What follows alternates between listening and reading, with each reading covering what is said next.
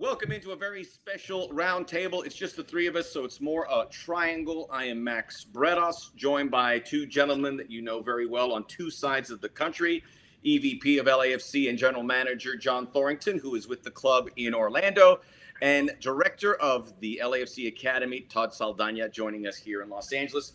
Great to see you guys. We all need some good news. We have two items. Obviously, we have the game on Monday between the Houston Dynamo, LAFC back in action, and even better, the signing of three academy players. This is huge for the club. And now Christian Torres, who is with the squad in Orlando, along with Tony Leone and Eric Duenas, now full LAFC members. Uh, being an academy near and dear to both you, you guys know how this works. I'll start with you, John. How, how, how big of a move is this for the club? Yeah, it's fantastic. I mean, I think rightfully so. Uh, the work that the first team has done to date has been in the public eye, and I think that um, has been fantastic and, and testament to all of the work from for everybody at the club. But the, the academy is a longer term play, and now we're starting to see the seeds planted before the first team now come to fruition. You know, we took a very deliberate decision to start with just a group of under 12s. And now that group of under 12s is now the first group that under 12s in uh, 2016, so two years before we even started as a uh, in our MLS expansion year. Um, we have kids now that are the fir- the part of the first graduating class, and to sign three professional ready prospects from one age group, which is our 04 age group, is incredibly exciting for the club and is you know the next step of what we want to do where you take um, all that we're doing at the, at the first team level and continue aligning it top to bottom down to our 10 11 12 year olds uh, i have to give todd enrique uh, the academy coaches uh, a lot of credit in how they've um, helped nurture and develop some of these really talented players. And uh, i hope we have many more of these days. Our academy is incredibly important to us. Our owners have invested uh, a lot of money into the development of these players because they believe in the talent in Los Angeles. And now it is up to guys like Todd, Enrique, myself, our, our first team coaches to now take the great work that's been done at the amateur level up through when they're 15, 16, 17, and now translate that to uh, success at the professional level. Todd, as John touched on, this is a process beginning in 2016. This doesn't happen by accident or overnight. And now we have three players that are going to be part of LAFC. We may see, well, I'll talk to you about how Christian plays into this LAFC squad in Orlando, but we, we got a chance to see these players in the preseason. Christian scored a goal in one of the friendlies. Give us a little primer on what these three players bring to the club. Yeah, I mean, to, to add a little bit on what John's saying, um, I think we're at a point where we're we're proving the concept, which I, you know, I'm excited that we the vision was to build, you know, somewhat slowly and start with a group so we could build a culture in the club too. So again, I, you know, give a lot of credit to owners and John's vision and then the chance to build it slowly and and uh, and and you're seeing that now. But yeah, so you got three guys Tony uh, Leone is a defender. Um, I think there's certain qualities they all have. I mean, they're, they're fundamentally sound. Obviously, to be able to pass and be skillful is a part of what the brand has. But but Tony's sort of extra qualities are he has great passing range. He's improved his one v one defending. You know, he brings that. He's got a lot of international experience, which I think will help. Uh, Eric is um, you know, as Bob said, he's a very good little footballer. But I, you know, I always think of him as being a very street savvy guy, right? He's uh, he's very comfortable. He's not a big guy, so he's had to find different ways to win battles. And but he's also very uh, tricky. He gets up the field in a smart way too, and can make plays. Christian, again, you know, he has the fundamentals. He has, you know, they're all mentally, physically tough. But Christian, his movement off the ball, I think, is the thing that caught the eye of the staff. So he brings, he creates a lot of chances. He makes a lot of openings for others, but he's also got electric speed to get behind the defense. So you got a little bit of everything in this group of three. My apologies to Tony. I believe I called it Leone. It's Tony Leone, and because uh, we're no, we're to learn these names very soon. Honest mistake. By the way, talking Eric Tricky, Tricky is a real good word to be uh, described as as a footballer. So we look forward to seeing Tricky. when I spoke to you, Todd, about the coaching, you were very happy about how much attention they got when they were training with the first team. And uh, that is something the club has practiced. This is Bob Bradley right now talking about what these three bring to the club. It's important for our club to have the first three homegrown players come out of our academy. Eric Duenas is a good footballer. Big heart, works really hard, picks up ideas, smart on the field, and so he's a player that I think is going to be a lot of fun to work with. Tony's a very good young defender. He's been around enough for us to see his qualities, shows an ability to make passes from the back, things that are important to us. Christian is a really good all-around attacker. In particular, we like the way he moves. Uh, that kind of movement is very similar to what you see with Carlos Vela. So his understanding of the kind of movements that we like outside to in, those things have really impressed us a lot. I certainly would want to give credit to uh, Todd Saldana and Enrique Duran for the way they've challenged all the players and coaches in the academy, and hopefully it's a, a sign of good things to come. Todd, you were mentioned there, Bob giving you a lot of credit for what you were able to do to help develop these players. What does that mean to you? No, it's a, it's a little surreal watching that, but um, no, it, it's uh, we take a lot of pride in it. Obviously, we're super proud of the way the boys have performed. We're we're proud that uh, the first team actually took notice of them. They were thought they were good enough to be able to join them, you know. But again, it's um, yeah, it's it's it's you know people look at these things sometimes and think it's an overnight success by some of these boys, but they've worked very hard to get here. Our staff and we mentioned Enrique, um, guys have worked very hard with them in the last year, especially the closer we've got to the first team, be able to prepare them to be ready to to perform the way Bob and the first team would like them to. So we've had a good year with them getting them ready for Bob. John, you touched on this a little bit about going back to 2016 and how the process has occurred. How have you seen it as an academy? What were the challenges starting from scratch, and where you see it to the point today where it's actually developing players for the first team?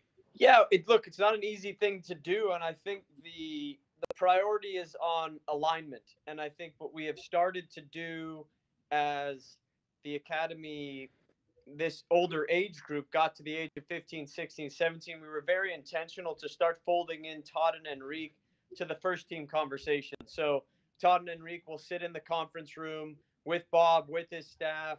They'll be in there when they're reviewing our first team mats from the week before, just so that we all start using the same vocabulary because you know our our job here is certainly to elevate the level of the game in Southern California, but the ultimate priority is not just to develop professional players, but professional players for LAFC. And we do have a specific way of playing and expectations depending on on the position. We've got three very different positions with these three kids, and as Bob and Todd touched upon, they've started to show elements of LAFC specific movements and qualities that are essential to then graduate into our into our first team and that process now will continue as they get thrown in full time with the first team. Uh, that is now that is a process that started in January. You know, the conversations with all three of these players took very different rhythms. Uh, Tony was the first one that we started talking about. He was the physically and and seemed to be the most pro ready. So the conversation with Tony started before the conversation with Christian and Eric, and then it all accelerated once they were with the first team and showed their ability to fit uh, come January. And that's that's not just to say how they handled the on-field demands, but also how they carried themselves off the field. That we're now confident and that they are ready to handle all of the demands of being a full-time uh, professional athlete. And that's not to say that they're not going to continue their their education. It's uh, you know, for us, we feel a moral obligation to the person and his their all three boys' education will certainly continue on and off the field. They have been so well received. When you talk to the supporters, they almost feel almost maternal or paternal with regards to these development as well as being part of the bigger picture of LAFC. We're going to get to know them a lot better, but here they are, the three newest signings for LAFC from the academy. Hey guys, it's Christian Torres. It's an honor to join the LAFC first team. My name is Antonio Leone. Signing my first professional contract is a dream come true, especially with a team like LAFC. I'm Eric Duenas. I am now proud to say that I have achieved my dream of becoming a professional soccer player at LAFC. So all the hard trainings with my dad and my coaches are finally paying off. I want to thank Todd Saldana, Enrique Duran, Cristiano Scalopo, and many, many more who've helped me get to this point in my career. I started at LAFC Academy since the first day of practice, pursuing my dream. But none of this would be possible if it wasn't for God and the support and sacrifices that my family have made for me. Now it's for the next step and on moving forward with the first team. Thanks. I know this is only the beginning of my career, but I'm very excited to begin to train with LAFC and to prove myself. I'm excited for this new challenge that I'm about to face and for what's to come in the future with LAFC. Thank you, LAFC. Thank you for everybody who's been with me throughout this journey. It's very much appreciated. As you can see, all three Southern Cal kids. I'm getting emotional, Todd, and I wasn't even along for the journey. I can't, you, have got to be blown away when you you think hmm. about where this journey began for these three kids and where they are now. Yeah, you, you, you mentioned sort of uh, how, how, people feel about it. You, I had a, a, number of people tell me they're having a dad moment, you know, because, and I think it's it's positive because a lot of people shared in it. A lot of people got close to the academy you know, the 3252 were out at games. Some of those guys got to know them when they were little. We've been pulling up pictures when they were just in their first years here. So a, a lot of people, I, that makes me very happy to see a lot of people, even up to ownership, saying they had sort of a dad feeling about some of this, which makes me feel like they felt involved and engaged. And it's it's true. They've you know we've had ownership come to games, we've had first team st- staff come to games. John comes to games and training. So everybody's been involved. So yeah, that that was a bit of a theme from when people called to congratulate, but they all said they were kind of having that sort of feeling, and you know that made me happy too because we're we're sharing it with everybody. John, I saw you nodding too. This has to be a very proud moment for you as well. Yeah, what was interesting for me, this is obviously the first time as a GM, let alone the GM of LAFC, to, to engage in these conversations. And what was really made me proud is I could tell in each of the conversations, whether it was with the player, the agent, the parents, this real pride to be a part of LAFC, and that is only because of what Todd mentioned. And I I know the stadium and the the 3250, everything is is a big part of it, but they definitely feel valued and they feel that we care and they know they see the owners there. They see when they come to the first team that they're not just thrown aside. That Bob Ante, Mike, and Kenny are putting their arms around these these kids and, and really care about their development. Um, and also, you know, as I as, as I always say, the the on-field, off-field uh, development of these of these kids as players and people. And I, I really, it, it was a, a proud moment for me because these kids have options to go different places. These are top kids of their age group nationally, and in the conversations, you got the sense that their main focus was, I want to be an LAFC player. And I think that only happens because of how they've been treated. And that is um, of utmost importance to us and our culture and our organization is to how we, we go about our business. We do, we do things right and we do the right thing. And that's our, uh, and I think that that paid off in these conversations because, as I say, these kids do have options. And I got the real sense – of pride they have of being a part of our club.